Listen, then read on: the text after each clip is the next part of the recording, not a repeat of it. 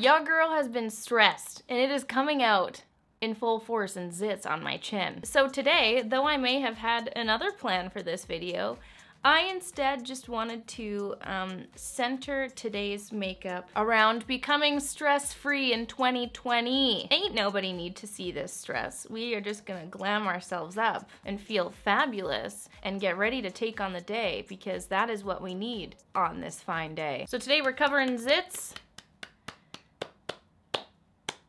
and covering zits and flaunting our bits.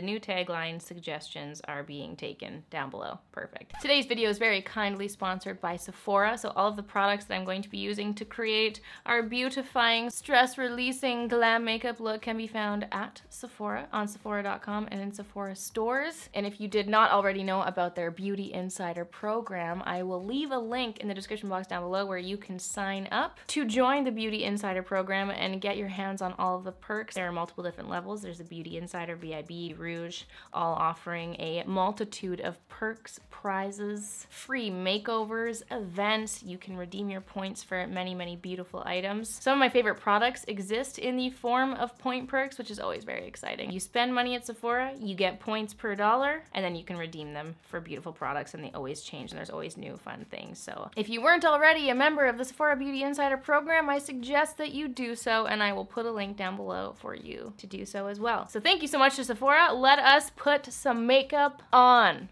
this fast. So the first little pro so the first pro so the first product I'm going to be using is a recommendation from Vanessa and this is actually a pre-makeup step. I'm going to be putting on a tan mixing it with my moisturizer. This is the Isle of Paradise dark self-tanning drops. I probably should have purchased a medium, a lighter one, but I was getting really excited at the prospect of being tanned again. That's something I just always go to whenever I'm feeling down, feeling stressed, want to feel fabulous. If I put a tan on, that just like instantly boosts my mood. It instantly makes me feel like more alive. Like, look at this. I scratch my neck and I'm just, I'm just so white, just everything shows. I need a little bit of a glow. So the thing that I like about this one and what Vanessa always speaks so highly of is you don't have to put it on separately. I was using the Bali Body Face Tan for a while and you have to put that on before moisturizer, let it sit and soak in and then apply your product on top. But my skin gets so dry so instantly I don't like waiting for that. So I like that these ones are added into your moisturizer. So we're gonna do that. And I guess you'd most likely wanna do this at night but it doesn't say AM or PM. So I'm gonna go ahead and assume that I'm gonna let this soak into my moisturizer and tan me while we're getting fabulous. It says 1 to 12 drops depending on how tanned you want to be. Oh my god. This is so fun. My hands are to be so orange, aren't they? It says to wash your hands immediately after use. So, mmm, it smells interesting. I'm to blend that in, take it down my neck as well. I probably should have put my necklaces on after, huh? And then I'm gonna let that sit and bake and hopefully we'll be nice and tanned. I'm gonna go wash my hands after. The finger pappets are washed. All right, our moisturizer's on. Let's get ready to go. Let's go into the foundation and the bases. Now, I did this the other day and I had this little revelation. I was watching someone on Instagram. I have the brain of a fish. I cannot recall who I was watching, but they mixed their hydrating primer in with their foundation. They didn't apply them separately. They just mixed it all in one big concoction and applied that. And I was like, I like making concoctions. That's my favorite thing to do, so I thought I would try that with foundation. I used two new products in this that I haven't previously used on my channel, so I do apologize for just springing these upon you, but I'm going to make a giant concoction of these three products. This is the Smashbox Photo Finish Primerizer, the NARS Glow Booster, which is new and I'm excited. And then this is the Makeup Forever Reboot Foundation, which is also new. And Vanessa, again, was like, this is the best foundation I've ever used in my life. And I was like, I'm excited for that, ma'am. So I'm gonna do two pumps of primerizer, one pump of the, mm, two pumps of the Glow Booster, and also two pumps of the Reboot Foundation. And I'm just gonna mix that all in, in the palm of my hand, and make like a lovely hydrating glowing foundation moment. We're kind of just like making our own foundation here which is very exciting. I'm just gonna blend that in with my fingers to optimize the maximum glowiness. I'm just gonna cover up all of my woes and sins. and hopefully by the end of this, we'll just be feeling so glowy and lovely. That is the foundation concoction applied. A lovely, lovely, very natural glowing base. And I also realized I haven't addressed the, uh, the, the Pippi Longstocking in the room. I'm trying to get some waves while I do my makeup and uh, I couldn't find my other black scrunchie, so here we are. For concealer, I'm to be using two NARS products, the Radiant Creamy Concealer as well as the Soft Matte Complete Concealer. I've got a lot of zits down here and I like to typically use the Soft Matte Concealer for zit covering. And then I'm just to take some of this NARS Radiant Creamy Concealer and place that underneath the eyes as well as on the forehead. I'm just to blend that out first with a brush. This is my MAC 170, 170 brush. And then I'm going to take a little mini brush. This is the Sigma P84 brush, and I'm going to dip that into the NARS Soft Matte Complete Concealer and use this to attack the zits down below, down below. I'm gonna dip into an old friend here, the Kevyn Aucoin Sculpting Powder such a great sculpting powder and I'm going to use this to chisel the schnitzel out of my chic bones. Just make us feel real snatched, you know? and dipping into the Benefit Hoola bronzer to just beautifully intensify the warmth and glow all over our face. For highlight, I'm taking the Bare Minerals Free highlighter. I haven't used this one in a while. And just use that to highlight. It's a little bit less intense, which will be a little bit more um, kind to the texture that's on my face right now. So just a nice little subtle glow. And then for blush, honestly, I wanted to really focus on um, some warmth in this look today just because I am just needing some sunshine in my life. So I wanted to dip into my orange blushes and I pulled these two powder blushes out. The Dior Coral blush as well as NARS Luster. And now that I'm here, I think I'm just gonna use NARS Luster. It's a little bit deeper, not quite as bright. I feel like this one is for the warmer months, if you will, but this one can still, I, feel, I don't know, I feel like it has just a little bit of a deep gold feel to it, so you can still get away with it even though there's snow outside. You can wear whatever you want. Seasonality really does not matter. Go on with your bad self. I just also haven't used NARS Luster in such a long time, and I wanted to pull it out and do some warm blush.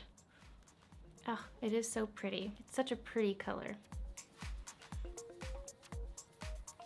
I'm gonna go ahead and do my brows off camera and then I'll be back with you to do the rest of the eyes. Ooh. All right, the brows are on. The caterpillars have appeared. Let's move on to the eyes. I know that I said that I wasn't gonna be making any more palette purchases. However, however, I was in Sephora the other day. I saw this palette and I've I've seen a lot from the brand Lawless, but it's not been a brand that I've been very familiar with. And I saw this The Little One palette, The Little One. And it really reminded me of my old beloved palette. It's actually very, very similar in look and style, packaging. It's kind of ripped off, honestly, from Lorac, the Lorac Pro palette, which I used to love so much. And these kind of like had my perfect shades. There's so many palettes that have my perfect kind of like matte browns and dreamy things, but then they'll be missing like one or two things. Like a lot of palettes are missing a black, but this one has a black. It's got all the matte browns and then some golden shimmer ones here. I was like, oh, that's kind of a really great, very perfectly sized neutral palette for travel. So thought I would use it today while we're trying to get a little bit glammed. And uh, I'm gonna start with this shade, this lovely little mid-tone brown here. I love the size of this palette. It has the perfect mirror too, which is great. I'm just gonna be right up close here like this. Can you see me? Let's start with this medium brown shade and I'm just gonna buff that all over the lid. I was just sitting here blending this being like, wow, I love this shade so much. And it's so close to Hoola.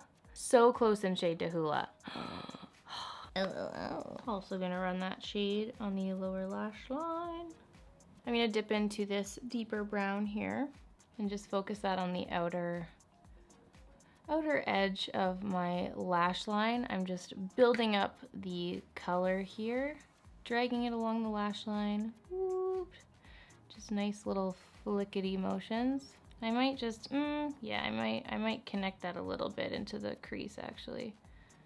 These two shadows remind me of Nina Dobrev's makeup in the Vampire Diaries. Anytime they would zoom in onto Elena's face, she would always have this very, very like muted but also somewhat substantial brown mixture on her eyelids. And there was always a little bit of a deeper brown on the lash line, but then it was smoked out into the crease. It was always so beautiful and I was always very inspired by that look. And this little moment right here is kind of reminding me of that. I'm gonna take an even smaller brush, dip into the black just a little bit. I don't really wanna do a liner at all, a liner look. I just really wanna smudge that right into the outer corner of the lashes basically. And just so softly blend it into the brown. This brush is brilliant, by the way. Oh my God, this is the Smith 253. It is one of the softest, most fluffiest little brushes, but then it's got the point at the end, which allows you to kind of still flick it out, which is so ideal when you're doing these kind of smoked out shadow looks. It's really changed my life, truly.